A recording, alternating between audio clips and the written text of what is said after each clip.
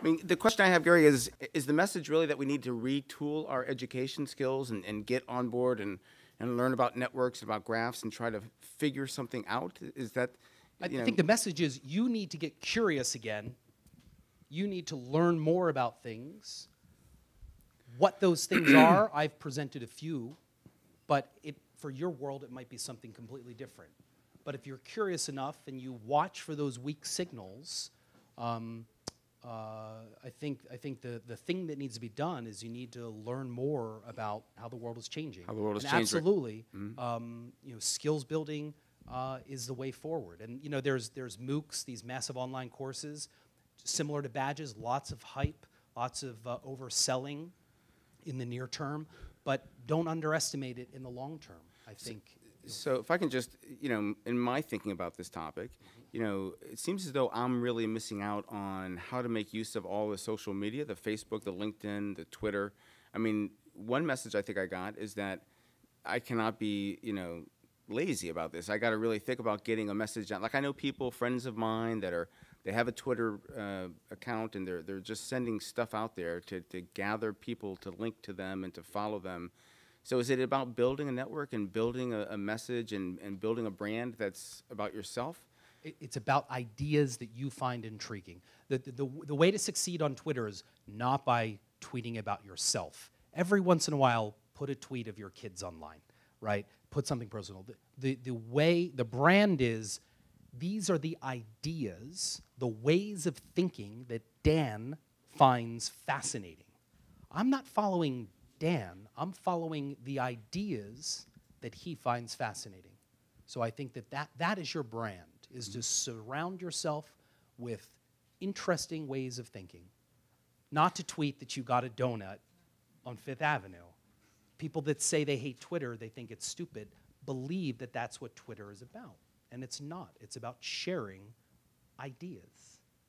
So, for example, my son, Uh-huh. who has a Facebook page and has 2,000 friends on Facebook, um, I shouldn't discourage that. I mean, he, that's the, the- in, the, in the years to come, that will be his entree into a, a forum to share ideas and, and to.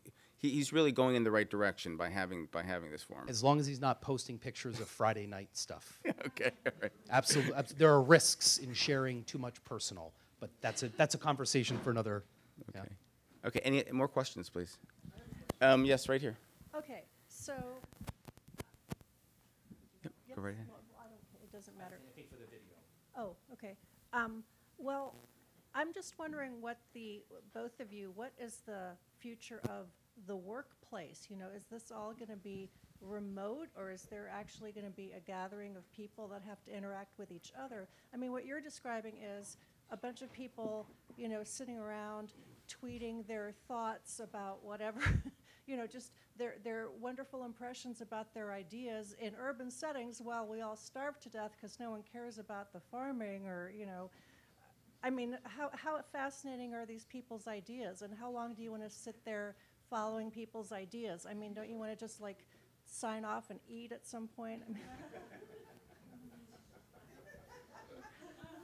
Yeah, I mean, if I can just add to that. Workplace, yeah, yeah, yeah.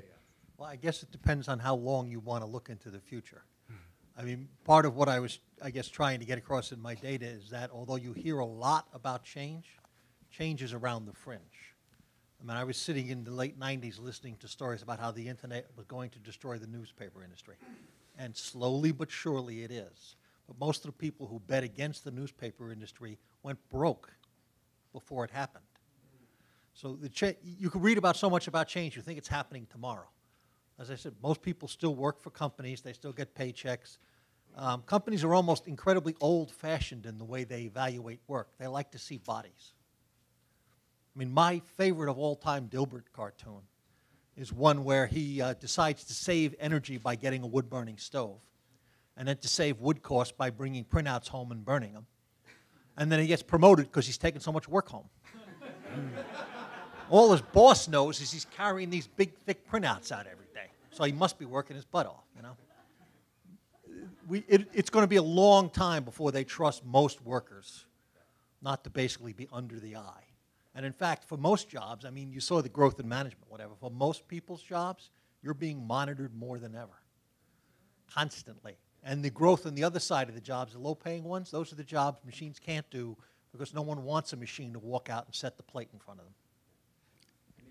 So the, the, one of the things they, they, they hammer uh, at you in, in, in future studies school is that the tendency is to overestimate the change in the short term, underestimate the long term. Right? Overestimate, oversell in the beginning, underestimate long term. People love being around other people. And I think that if you survey the most uh, active people on you know, Twitter and these environments, these are people that, despite thinking that they're online all the time, are the most social individuals in the world. These are individuals that love being around other people, that are creative and inspiring. Absolutely, companies want individuals next to them. I think people will work more days from home, more hours from home, or in co working spaces or whatever. But absolutely, work is going to remain a face to face oriented reality uh, for a very long time. I don't think we'll ever move away from that. Yeah, I don't think it's dehumanizing in any way. I think it's sharing ideas um, that you know, lead to personal growth. Um, you're all here because you received an email, right?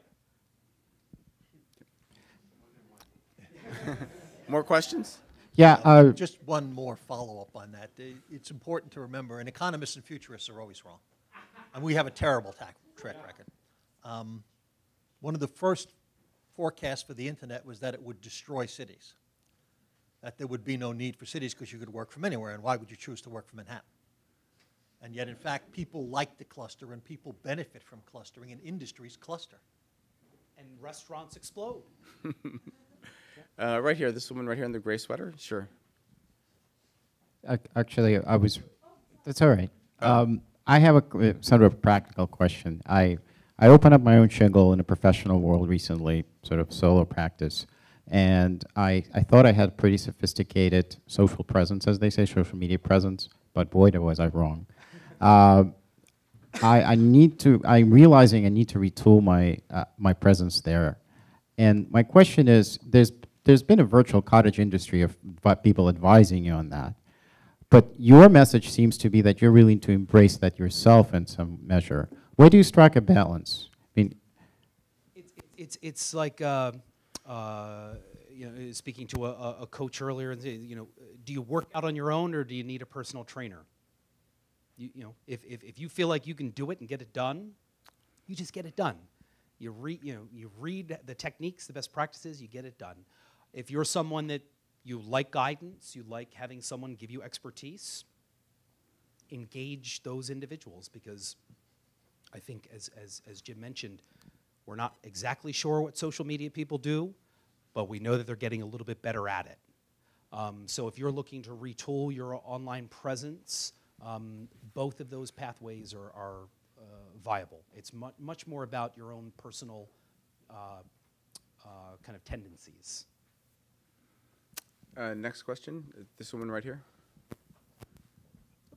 Thank you. Hi, for both speakers. Uh, as an HR professional, I've been hearing about the war for talent for a few years now. And uh, your graph reminded me, you know, once all those the baby boomers retire, what exactly is going to happen with the workforce? Will we have enough people to do the work? People? Sure. Um, I mean, no, seriously, uh, it's not a numbers question. The, the maybe 60% of the adult population is working. I mean, we could, we could turn around tomorrow and add 30 million people to the workforce if we uh, gave them a good reason to want to get out there and paid them enough money to do it. So we don't have a people shortage. We have maybe a skills mismatch, and we have a, especially in slower economies, we have a, well, yeah, I want someone who can do that, but I ain't paying them that. Believe me, offer 50 bucks an hour and see who shows up. Uh, yes, this right here. Jim, you uh, anytime you hire based upon race, you're making an economically poor decision. Well, actually, what I, My point was, if you're choosing based other than on work-related criteria, you are making a less than optimal choice. I mean, in economics, you should choose the person who can do the job the best. If when they walk in the door, you look at them and say, "Oh, that's a fat, bald, bearded guy. I don't like fat, bald, bearded guys," you know. Now you, you know nothing about what I can do. You've just written me off, Thank you. and So maybe my- I'm the best person for the job. My question, though, um, is having to do with all the data and computerization that's going on. Do you see any? Do you see an improvement or or, or use for people who may not be the norm for what's walking in the door and what's considered to be acceptable? Because we know that people of color have a much higher uh, unemployment rate than those um, who are not. So, so we're looking at the future now. So, what happens to those people? Does, does, their, does their situation does it get worse?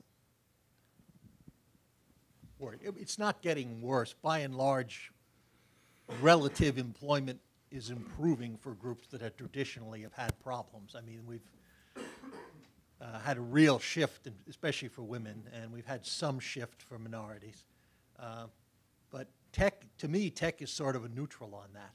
In theory, yes, you can work from home, and it doesn't matter what you look like. They're somewhat reluctant to let people work from home, and the reality is tech lets them find out a lot about you without having to actually ever look you in the face. So maybe they'll decide they don't like you based on some externality. You'll never even know they evaluated you. I, I think my comment there would just be what we need to be pushing for is a wholesale revolution in how we think about learning and education. And it is not fixing schools, has nothing to do with teachers, and I love teachers. Has nothing to do with fixing schools or high stakes testing or anything. It's about creating a culture of the learner individuals that are self aware, self directed, and know how to access the tools to build the skills step by step to get to where they want to get. Now, technology in education has been a complete disaster in terms of mismanaged expectations. Technology in the early days was going to change, you know, schools and everyone's going to be homeschool, right? the technologies have not been very good, and they're a very bad fit for school environments because of all the other politics that layer on top. Learner based technologies that are outside of schools are now popping up in MOOCs. You know, you can, you, know, you can, get, a, you can get a degree from MIT or Harvard or Stanford, and you don't have to go there, right? You can get a science degree from Brian Greene and the World Science, you know, uh, Foundation. So I think the learner culture is what we need to invest in. Okay, I think we have just time for one more question, right? So, uh, right here. And then, then there'll be time to speak with the speakers afterwards, I believe. Hi. So I'm curious if there's any kind of initiatives that bring government together with, say, someone like you from Future Think and academia um, to to think about ways to actually create opportunities. I mean, because it seems like there's a lot that the government could do. You have a lot of data and information on where things are going, and um, you know, there's a lag in terms of of, I guess, academia or universities preparing students for the reality of the job market.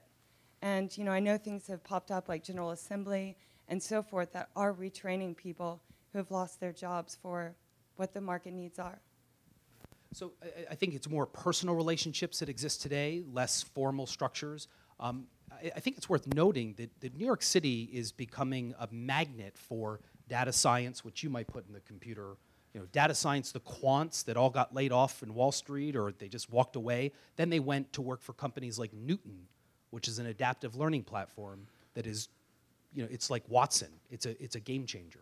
Um, the talent that exists in New York City right now, in terms of people that are developing tools to change learning, to change government, to change community building, the sharing economy, right? Airbnb, those types of things, they are strong in New York City. Um, I don't think that the uh, infrastructure to bring the right people together has been formalized just yet, but I think it will it will happen. So. Okay, I'd like to thank our, our two speakers. I think it's been a wonderful presentation. Please uh, join me in, in thanking them.